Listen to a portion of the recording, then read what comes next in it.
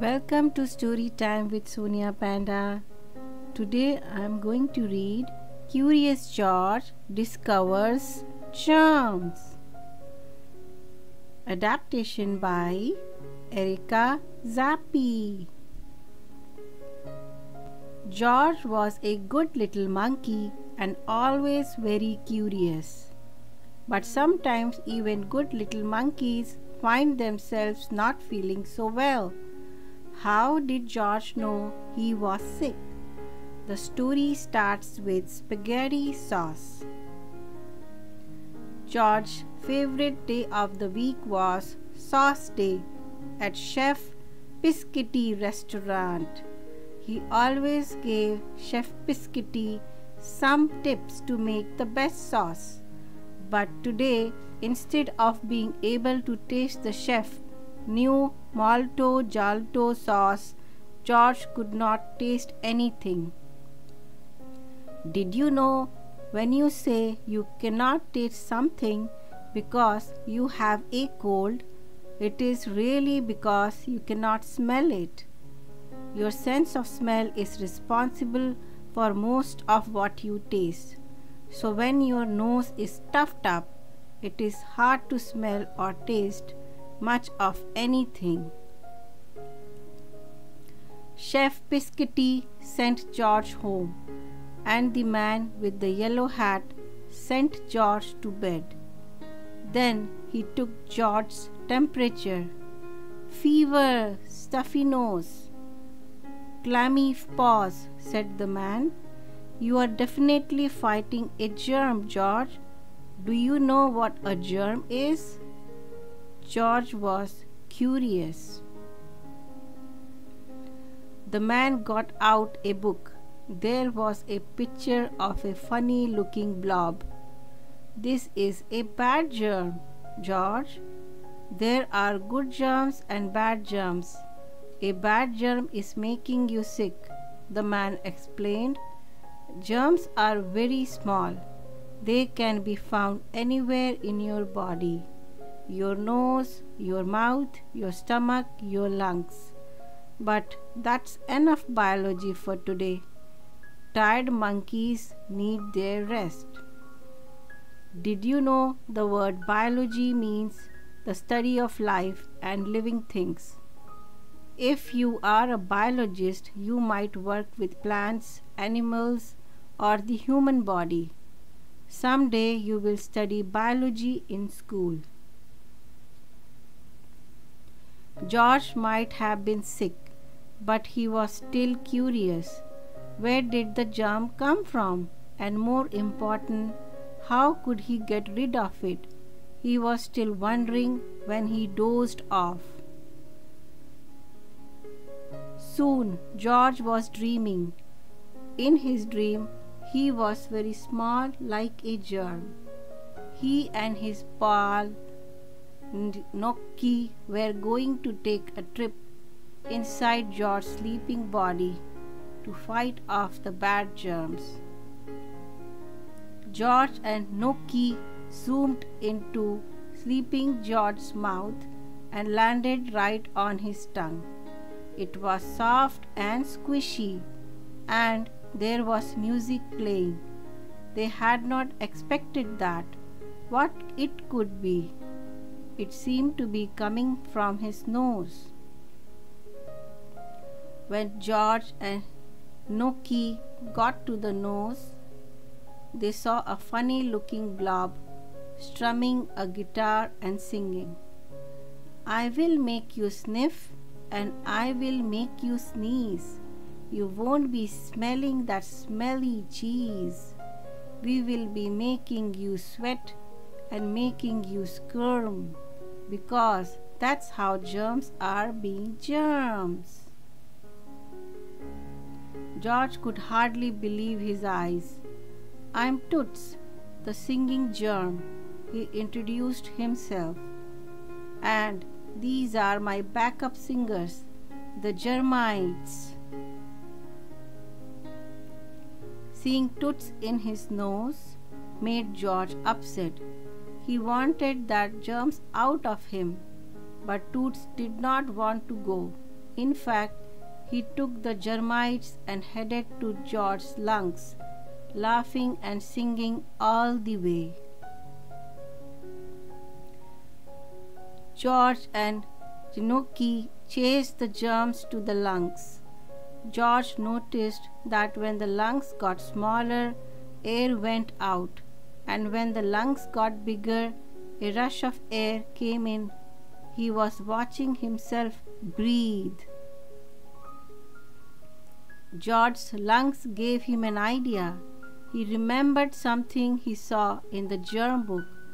Coughing and sneezing are the lungs' way of doing their job and trying to force out bad germs. All George had to do was sneeze, toots right out of his body. George and Gnocchi chased toots and germites all the way to George's nose. Then, with one big sneeze, thanks to some well positioned tickling, out went toots and germites out into the air, looking for a new place to live. A few days later, George was feeling much better. He had taken lots of naps, drunk lots of water and juice, and sneezed out those germs. He could even smell again, but it was clear where Toots and Germites had found a new home. George's friend, the man with the yellow hat, was sick. The man had taken such good care of George when he was sick. Now George wanted to help his friend get better too. So he made some soup. Did you know eating chicken soup is a good for a cold? Why? Some doctors say the hot soup helps clear your stuffy nose and the broth provides necessary fluid when you are sick. Other doctors think that some of the ingredients in chicken soup help with the inflammation that causes your nose to get all stuffy in the first place. Whatever the case, soup is tasty and eating it when you are sick is a good thing. George brought the soup to the man's bed. Thanks, George, the man said. But when he tried the soup, he could not taste anything. George wanted to taste it, but his friend stopped him. George, don't use that spoon. It might be covered with my cold germs. You don't want to get sick again, do you? The man asked. George definitely did not want to get sick again. That made George curious. How else did germs get from one person to another? He looked at his germ book. George knew that the germs were in him just a few days ago, but his friend had not used George's spoon or fork or cup. Do you think the man caught George's germs when he sneezed or coughed? Did you know if you don't have a tissue handy, you should cough or sneeze into your elbow. If you cough or sneeze into your hand, the germs will be on your hand. Then, when you touch a doorknob, a sink, a pen, utensil, or even someone else's hand, you will spread your germs. And even worse, if you don't cover up at all, your germs can go really far. Some scientists say that a single sneeze can travel 100 miles 160 km per hour and spread over 100,000 germs.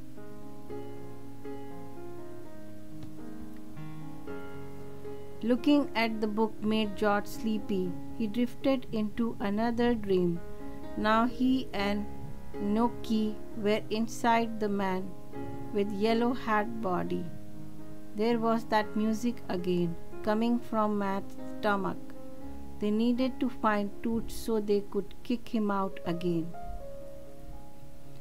Well, I have been lots of places floating free as a wheeze, riding on your silverware or flying on sleeves. I played in many people all across this great big land, especially in the folks who don't like to wash their hands because soap makes me wiggle and soap makes me sneer. One sign of soap and this toots is out of here.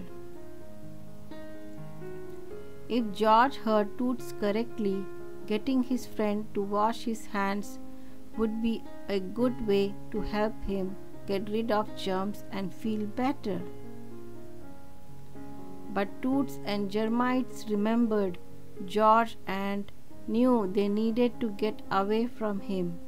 We are off to play in another body, Toots said. They were going to infect someone else.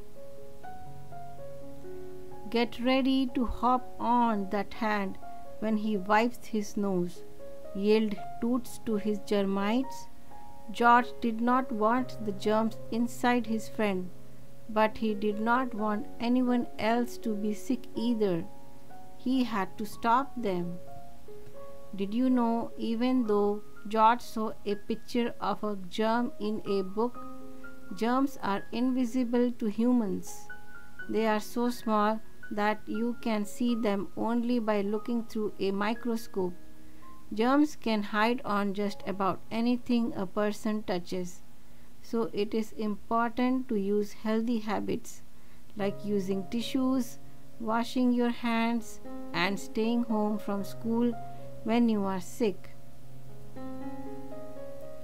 When the bell rang and the man got up to answer the door, Toots and Germites were ready for a new body. Professor Wiseman's she had also made soup for her sick friend. George and Janotki zoomed out after the germs and landed with a thud on Professor Wiseman's hand. The germs were startled. Oh, it feels like something is crawling on my hands. Professor Wiseman said, I should probably wash them inside. Did you know everyone, kids and adults, should wash their hands with soap before they eat, after they use the bathroom, and when they are through playing with toys, using plus public transportation, or visiting public places? We use our hands to touch all kind of things that is why it is important to keep them out of your mouth and wash them often. Professor Wiseman went to the bathroom and washed Toots and the germites right down the drain. Not only had George chased those germs out of his friend, he and some soap had stopped them from getting Professor Wiseman sick too. When George woke up from his dream, he felt great, but he went straight to the bathroom to wash his hands and feet just in case. After two icky adventures with Toots, this healthy little monkey wanted to stay that way. Here is some experiment you can try at home about breads. Also this book has a chicken soup recipe. You can try cooking it too.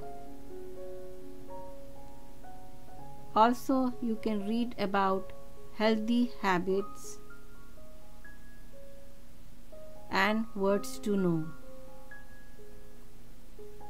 Please don't forget to like and subscribe to story time with sonia panda to listen to more stories. Bye for now. See you again soon. Take care.